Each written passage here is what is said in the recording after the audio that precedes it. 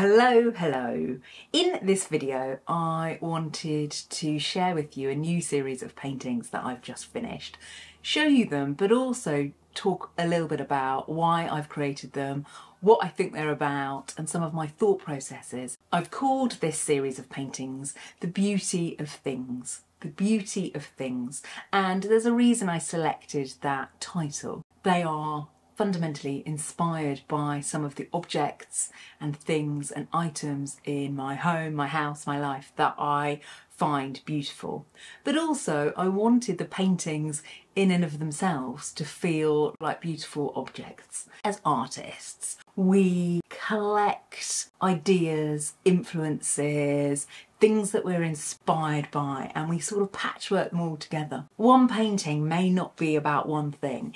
It is often a collection of moments of inspiration, ideas, feelings, all brought together through my lens as an artist. And in recent years, I've been really inspired and interested in objects and the things that I travel through life with, the things and items that I invite into my home and house. And I think the reason that objects and items have become more important to me is because of a lot of the things that have been going on in my life. So I lost both my parents and then I inherited some of their things. So I've got a real lovely connection and emotional connection to some of their items. We also had a flood or a burst water pipe that destroyed the bottom half of our house. So we were living out in a hotel and Airbnbs for six months, maybe a bit longer.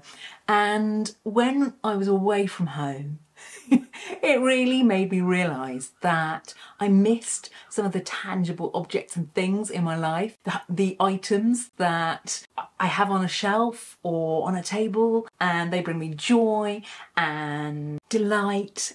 So when I started them, I had no idea where they were going. I had lots of ideas, so I wanted to kind of celebrate objects. I wanted them to be colourful and joyful and exuberant, but I didn't have a clear plan. So I didn't start out with a really clear idea of how these paintings were going to develop and evolve.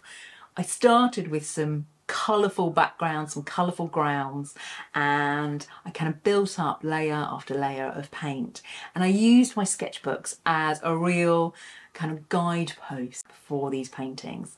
My sketchbooks are the birthplace of all of my art. They are where ideas percolate, where I collect and gather ideas, where I express things to myself, where I work out what I'm interested in, where I meet myself on the page. I hope these paintings feel like a celebration of home, celebration of beautiful objects. I hope they feel exuberant and joyful and have got a sort of sense of fun about them. I really wanted them to have like little delightful details and a history. So I built up layer after layer of paint. Each of the paintings perhaps rewards a closer look and there are things to seek and spot and find uh, that you might not see at first glance.